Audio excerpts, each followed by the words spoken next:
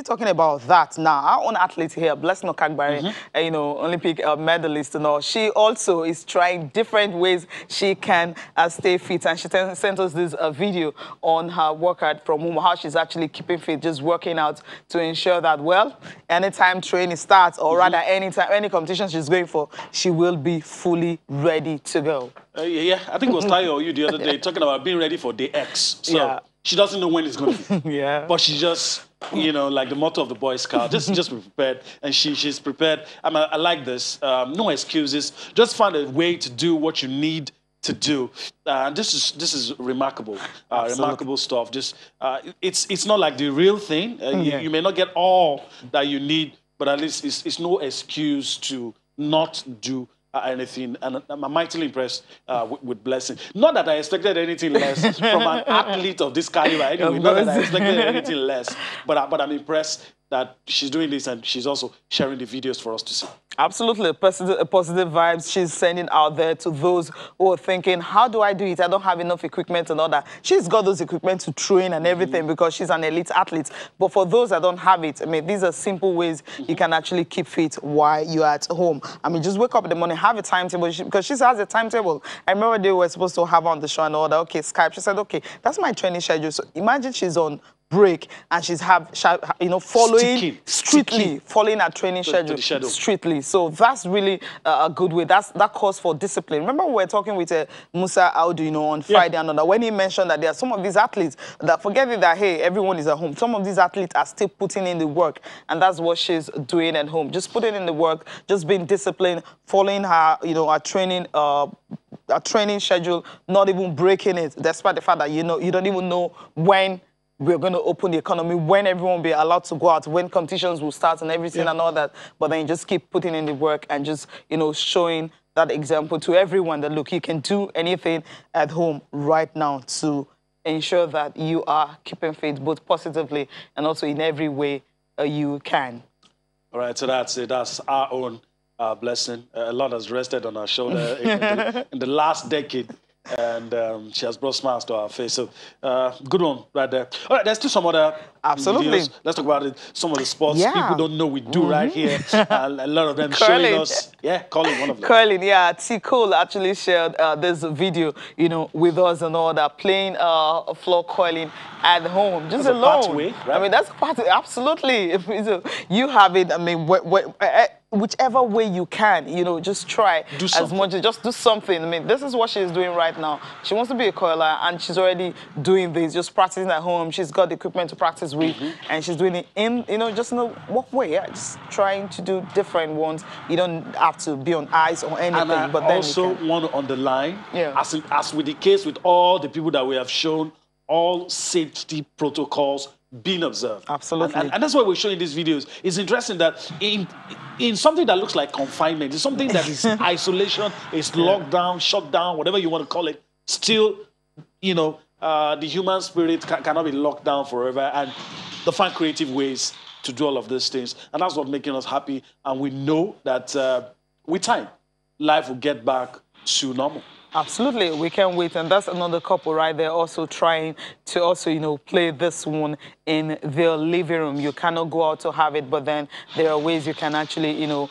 Uh, you know, keep in shape, play different transport, just learn, you know, teaching and all that. And then that will also help you to keep fit and also to stay uh, positive, stay at home, and try as much as possible to also stay safe. We know it's difficult sometimes, but then when you have to, you know, do some of these things and all that, you know, it's going to help you a whole lot on the long All run. right.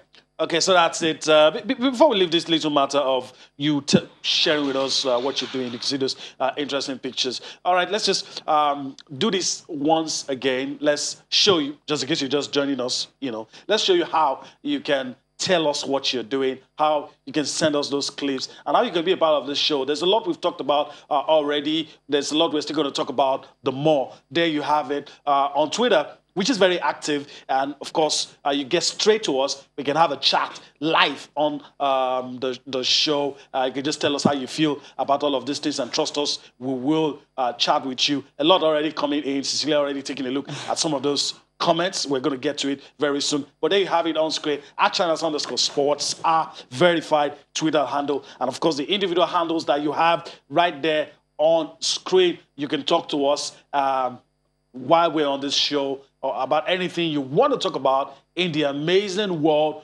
of sports. These days, I don't say money spinning anymore because money money is not spinning right now. Uh, but of course, we'll get back to the money spinning world of sports. But for now, it's still the fast-paced world of sports, even though we're doing the sports in our homes in lockdown and in shutdown. But very, very um, interesting nonetheless. Okay. So we'll get back, we'll get to those comments uh, Later, in a bit. yeah. But first, let's uh, talk about Vincent um, Enyeama, and of course, it's heartwarming uh, to know that he's not thinking of calling it quits. Absolutely. He's not thinking of um, hanging his gloves. Mm-hmm. Uh, I mean, I grew up seeing Peter Shilton at the World Cup, 41 years. So I, I'm used to seeing goalkeepers. Their lifespan is a lot larger absolutely. Than, than the outfield players. So I was very happy. And he's still in his prime. Forget the fact, whatever happened, we all know what happened uh, Mm-hmm. With Lille. It has nothing to do with his form. It Yeah, absolutely, absolutely yeah. nothing to do with his form. Uh, and that's why we're happy that Vincent Enyeama uh, is come out to say uh, there were reports over the weekend Mm-hmm. that.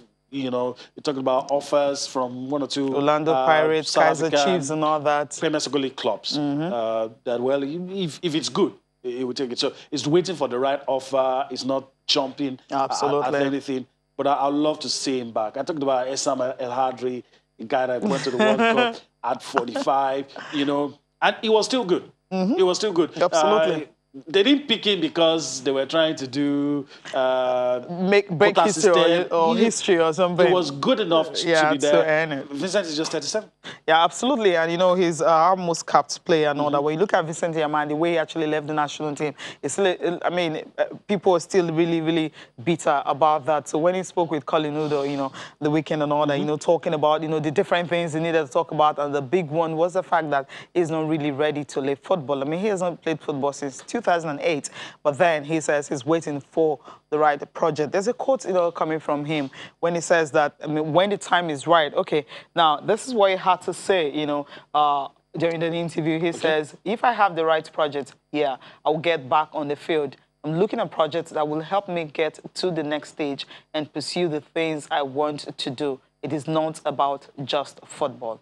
I love this. The next thing he wants to do, I remember last time I spoke with him, he says he was studying something online. I'm like, okay, what's this guy doing? Okay, keep our fingers crossed. He hasn't really, really uh, revealed anything yet. But I think he wants a project that will last, not just going into a club and maybe after one season is all over. So he's waiting for the right opportunity, the right time for him to be able to, you know, uh, you know, get into the business of football again. If, if you're still good, why, why not? Manuel Neuer in, in Germany Yeah. at a top club is asking for a five-year deal at 34.